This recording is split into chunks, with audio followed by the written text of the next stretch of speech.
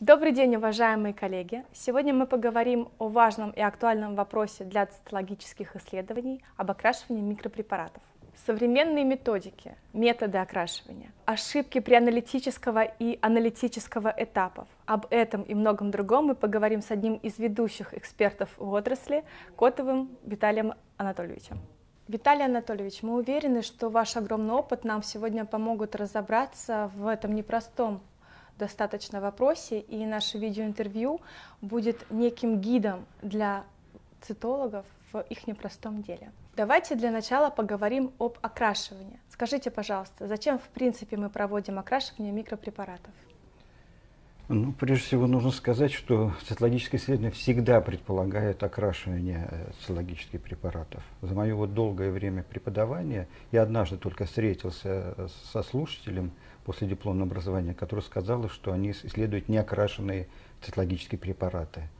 Э, окрашивание цитологических препаратов – это аксиома, то есть все препараты должны окрашиваться – и в окрашенных препаратах мы выявляем около 10 критериев различных э, клеток, которые затем мы анализируем и на основании этого анализа ставим диагноз. Важно отметить, что в цитологии всегда используются полихромные красители.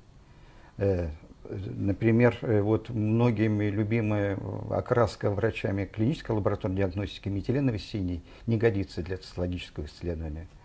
В окрашенных препаратах важным является адекватность полученного материала. Э, что значит адекватность? То есть он должен быть пригоден для исследования. Иногда в препаратах мы видим только слизь, межуточную субстанцию, детрит. Иногда препараты э, взяты э, некачественно, иногда могут быть только элементы воспаления или эритроциты. И может быть малое количество клеток, э, которые не позволяет нам сделать утвердительное заключение. Иногда э, материал будет просто неинформативный, иногда бывают толстые мазки э, при традиционной цитологии. Угу. Так какие все-таки критерии нужны для того, чтобы мы оценили препарат как адекватный? Адекватный препарат – это наличие клеток в достаточном количестве, что позволяет сделать э, цитологическое заключение. Какие в общем техники окрашивания сейчас существуют? А какие существуют мировые и российские стандарты окрашивания? Э, вопрос не, неоднозначный. Дело в том, что у нас в России существует несколько нормативных документов, которые иногда противоречат друг другу. Например, согласно приказу номер 380 Э, стандартными методами окрашивания является первый это азуразин в различных модификациях, затем окраска по Папа Николау, окраска гемотоксилином и азином. Если мы посмотрим ГОСТ э, от 2020 года, то там рассматриваются только окраски азуразином в различных модификациях и окраска по Николау, и совершенно не упоминается окраска гемотоксилином и азином. Если мы говорим о э, приказе э, по организации проведения профосмотров, э, там э, жестко устанавливается э, окраска только по Николау и не допускаются другие методы окрашивания. Таким образом, получается у нас стандартизация довольно неоднозначная. Но помимо основных методов окрашивания, существуют и дополнительные методы окрашивания, конечно. Это и иммуноцитохимические исследования, это и цитохимические исследования, например, на выявление амилоида, э, слизи. Э, кроме того, выявляются и этиологические факторы при помощи, например, э, реакции на микобактерию туберкулеза, на геликобактер пилори. Э, таким образом, в каждой лаборатории должен быть определенный набор, арсенал методик окрашивания, и применяются они в зависимости от конкретной клинической задачи для диагностики. Также есть и ускоренные методы окраски, например, DivQuick и ее аналоги. Угу. Спасибо. А, сейчас окрашивание по Папа Николаю является мировым стандартом и с недавних пор и российским стандартом. Что это за метод? Расскажите, пожалуйста, о нем поподробнее. Окраска Папа Николау названа э, по имени автора э, Георгиуса Папа Николау. Он э, впервые опубликовал эту окраску в 1942 году, затем были модификации этого окраски в 1954-1960 годах. И э, она используется не только для окрашивания материала скрининговых э, исследований, но и для других локализаций. Какие ее преимущества? Ну, одно из главных преимуществ окраски Папа Николау является прозрачность мазка, что предполагает качественный просмотр материала. Э, затем нет ущерба дифференциации клеток различных эпителиальных клеток. Кроме того, очень четко и тонко мы можем оценить структуру хроматина ядер. Вот. И главное, конечно, преимущество, что она полихромная. То есть помимо э, красного и синего цвета, как при окраске азуром азином, гематоксином азином, есть и другие э, цвета, в частности оранжевый, когда мы видим гиперхром, э, э, кератоз, или зеленый цвет, когда мы видим оттенки цитоплазмы, все это имеет диагностическое значение. Но э, совершенно это не значит, что нужно использовать только одну окраску Папа Николау. Нужно использовать и другие стандартные методы окраски. А что представляют из себя красители для окраски по Папа Николау? Как выбрать подходящий для своей лаборатории? На этиловом спирте, на изопропиловом, одна-, двухкомпонентные? Красители, входящие э, в состав окраски Папа Николау, это три основных красителя. Первый окрашивающий раствор – это гематоксилин харица или гематоксилин гила. Он окрашивает ядра клеток. Э, в своих работах э, Папа Николау использовал, разумеется, гематоксилин харица – но затем были модификации с использованием э, и гематоксилина ГИЛа. Второй окрашивающий раствор, э, который окрашивает цитоплазму, это оранжевый э, 6 или OG6. Он э, используется для э, именно окраски цитоплазмы, и э, обозначение его связано с тем, что в нем находится еще небольшое количество фосфорно-вольфрамовой кислоты. Третий окрашивающий э, состав – Э, раствор, правильно сказать, он э, стоит из трех красителей. Один Y, светло-зеленый SF, желтоватый, и бисмарк коричневый. Это тоже позволяет э, выявлять оттенки цитоплазмы. Все в совокупности позволяет более качественно оценивать клетку, ее цитоплазму, ядро, и, соответственно, вот этот анализ клетки позволяет, соответственно, и более качественно э, ставить диагноз. Выбор модификации окраски Папа Николау зависит от многих факторов, финансовых, организационных. Э, если краситель приготовлен качественно, то, конечно, не имеет смысла его готовить самому. И э, в настоящее время ну, тренд у нас такой, это импортозамещение, поэтому если качественно э, приготовлен крас... э, составляющие окраски Папа Николау отечественным производителем, то, конечно, ему можно пользоваться так же, как и импортными. И вообще мое э, мнение остается прежним. Э, дело совершенно не в окрасках, а в искусстве э, работы самого специалиста, врача-цитолога. Мы иногда привыкаем к одной окраске и должны помнить, что наши коллеги-врачи-патологоанатомы спокойно используют различные красители. Почему мы не можем это делать? Существуют ли какие-то особенности окраски по Папа Николау? Конечно, существует. Если мы говорим о классическом методе окрашивания по Николау, это 29 этапов и полтора часа рабочего времени. Мне э, однажды приходилось э, наблюдать очень неприглядную картину, когда лаборанта попросили окрашивать препараты за обычным столом, и вот полтора часа она перекладывала из одной э, кюветы в другую. И, а вы знаете, там есть и вредные вещества. Конечно, для э, окрашивания по Николау, такого длительного, нужны специальные автоматы для окраски. Что касается особ... разновидностей, как я уже говорил, есть три разновидности окраски по Папа Николау, который сам придумал Папа Николау. Э, есть так называемый регрессивный метод окраски, прогрессивный метод окраски, к которому Папа Николау в конце концов пришел. Есть окраска э, Папа Николау модификации ГИЛа э, и некоторые другие модификации, в частности ускоренный метод окраски, uh-huh. который сейчас достаточно широко применяется. Давайте поговорим э, с вами о фиксации.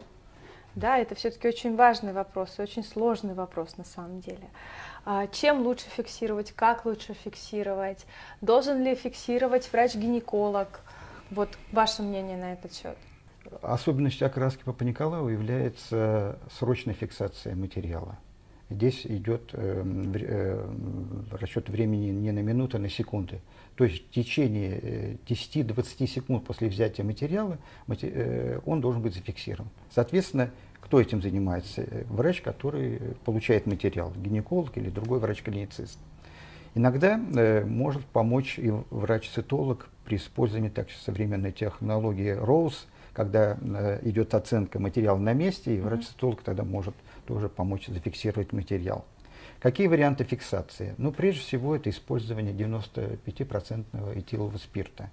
Это может быть э, опускание э, препаратов в, в, в, спирт, и, соответственно, 15-20 минут там находится этот материал. Либо э, э, создание аэрозоля из этого спирта при помощи баллончиков, аэрозольных э, или каких-то... Э, э, либо будет использоваться также добавление полиэтиленгликоля для создания пленки, э, который позволяет предохранять клеточные структуры от разрушения. То есть, еще раз повторяю, фиксация должна быть срочной. Угу. А чем лучше покрывать, пленкой или стеклом? Э, Мое мнение, обязательно нужно покрывать прежде всего препараты. Это для нас пока не стандарт, Угу. А в патологической анатомии нельзя представить себе гистологический препарат, не покрытый покровным стеклом. Э, что это дает? Э, во-первых, лучше сохраняются препараты. Во-вторых, мы можем использовать объектив 40, потому что если не использовать вот эту дополнительную оптическую среду, то при просмотре препаратов с объективом 40 мы видим мутную картину. Э, ну, так сказать, иногда находятся умельцы, которые покрывают вместо покровного стекла или пленки э, маслом, но это очень тоже неприглядная картина, и микроскоп, и сами цитологи все э, оказываются в масле. И это должно быть стандартом, стандартом как патологическая анатомия. А чем пользуетесь вы? Ну, мы обычно используем покровные стекла. Бывает ли такое, что неправильно привели окраску? А, что делать да, в такие моменты? И вообще, как можно понять, что окраска проведена неправильно? Э, ну, я бы так ответил на этот вопрос. Прежде всего, э, качество окраски должен оценивать э, лаборант. И у лаборанта должна быть микроскопия материала, который он окрашивает. Опытный лаборант сразу заметит, как он провел окраску. Если же это не случилось, то врач должен сделать замечание лаборанту и попросить перекрасить материал. С чем связана э, некачественная окраска? Это может быть э, различные факторы, это может быть некачественный краситель, это может быть э, несоблюдение правил окраски, это может быть э, какие-то субъективные факторы, связанные с работой самого лаборанта. Он мог отвлечься и недостаточно качественно построить, покрасить материал. Но в моей практике случались, э, были, вернее, такие случаи, когда э, несколько раз окрашиваешь препарат, он все равно некачественный. Это иногда бывает связано не с, с техникой окраски, а с качеством самого материала. Бывают дистрофические процессы, воспалительные, э, э, зависит от того, как взят материал. То есть это тоже нужно иметь в виду. Поэтому крайне важна стандартизация окраски. И в качестве стандартизации можно рекомендовать использование стейнеров, то есть автоматических устройств для окраски. А в вашей лаборатории какие методы окраски используются, и что бы вы могли посоветовать своим коллегам, порекомендовать, может быть, коллегам? Ну, за мою многолетнюю э, практику я использовал э, различные окраски, смотрел препарат, э, э, с различных окрасок. И нужно сказать, что, еще раз повторю эту свою мысль, что дело, конечно, не в окраске, а в искусстве врача, проводящего э, цитологического исследования. Э, окраски должны быть э, использованы под конкретную клиническую задачу. Э, если мы исследуем, например, лимфатические узлы, щитовидную железу, то лучше окрашивать препараты азурозином. Если мы исследуем эксолятивный материал, то он, как правило, толстый, лучше использовать, э, конечно, э, гемотоксилин 1 или папа Николау. То есть все зависит от конкретной клинической задачи. Ну вот а, в России стандарт Папа Николау ввели где-то 4, ну около 4-5 лет назад. А, все ли перешли уже на этот стандарт? Если нет, то что мешает перейти? Ну, по этому поводу я хотел бы э, рассказать о том, что я вижу на своих занятиях со слушателями. я всегда спрашиваю в аудитории, кто проводит окрас Папы Николау. И, как правило, в группе из 20-25 человек поднимается одна или две руки. То есть это крайне редкий метод у нас окрашивания. И, э, к сожалению, вот наши многие приказы, они носят э, такой рекомендательный характер, это как э, э, вектор направления. Но э, для того, чтобы это э, использовалось в каждой лаборатории, должен пройти определенный период, должны быть определенные финансовые э, затраты, должны быть организационные какие-то моменты решаться. То есть это не произойдет достаточно быстро. Сколько тестов должно да, проводиться по окраске Папы Николаю? Сколько сейчас проводится, в принципе? Большая ли разница? Ну, я бы так ответил на этот вопрос. Э, к сожалению, до сих пор цитологическая служба, она э, не существует как таковая, нет специальности э, врач-цитолог или врач-клинический цитолог. Поэтому ответить на этот вопрос невозможно. Понятно, что стандарты и требования мы должны все выполнять, но исходя из вашего личного опыта, скажите, пожалуйста, стоит ли переходить на окраску Папа Николау? Да? Что это даст э, врачу? Будет ли какой-то положительный результат? Э, конечно, будет положительный результат. Э, дело в том, что окраска по Николаю – это общемировой стандарт. Во всех странах практически он, эта окраска используется для исследования цитологических препаратов. Кроме того, в последние годы мы используем для оценки материала шейки матки классификацию Bethesda 2014 года. Она полностью построена на окраске Папа Николау. И в атласе, который иллюстрирует вот те изменения, которые мы должны видеть в препаратах, они тоже в основном все препараты окрашены Папа Николау. Таким образом, чтобы э, находиться вот в, вместе с мировым сообществом, да, цитологическим, мы, конечно, должны эту использовать окраску. Угу. Ну, раз мы уже заговорили о мировом сообществе, да, какие сейчас, в принципе, тенденции существуют, куда идет цитологическое сообщество во всем мире? Вопрос очень интересный и важный. Дело в том, что, э, конечно, э, есть, э, намечаются и наметились, и существуют определенные тенденции – в частности, это использование молекулярно-генетических методов. Э, если мы посмотрим классификации ВОЗ, э, э, пятое, пятое издание по различным локализациям, многие формы, они определяются именно по генетическим факторам. Далее, конечно, важна вот технология ROSE. Она подразумевает оценку на месте. Что это значит? Цитолог присутствует при взятии материала, особенно Э, получаемый диагностически сложными, высокотехнологичными методами, он оценивает препарат и говорит, что да, этот препарат адек, материал адекватный, не нужно пунктировать, например, второй раз. Uh-huh. Кроме того, он сортирует материал на генетические методы, на цитологические, на бактериологические. Э, вот эта методика очень важна. Не утихают споры о жидкостной цитологии. Есть и за мнение, есть и против. Э, ну, наверное, многие не отмечают э, достоинства этого метода, а именно это возможность исследования материала не только цитологический, но и проведения ПЦР-реакций, молекулярно-генетических исследований и других. Кроме того, возможность использования автоматизированных систем, что очень важно. Но главный недостаток этого метода – это большая стоимость. Поэтому все это должно экономически просчитываться, чтобы это было целесообразно. Сейчас ПАП-тест используется как один из методов скрининга рака шейки матки во всем мире. В нашей стране э, скрининг только начинает набирать обороты. Скажите, пожалуйста, как долго мы будем идти к мировым стандартам и выйдем на мировой уровень в этом вопросе, на ваш взгляд? Ну, на мой взгляд, э, это долгая история. Ну, во-первых, у нас нет национальной э, программы скрининга. Ее не существует. Скрининг у нас э, не организованный, а оппортунистический. Нужно отметить, что хотя вот Ассоциация клинических цитологов России предлагала свой проект национального скрининга, выпускала свои методические рекомендации, выпускаются отдельные приказы, но все это пока э, на уровне развития. Угу. Вот. Поэтому, чтобы выйти на уровень других стран, ну, в частности, вот соседней с нами Финляндии, нужно достаточно длительное время. И вот многих останавливает тот факт, мне кажется, что бы оценить результаты программы, должно пройти 15-20 лет. Это достаточно большой срок. Это не сиюминутные результаты.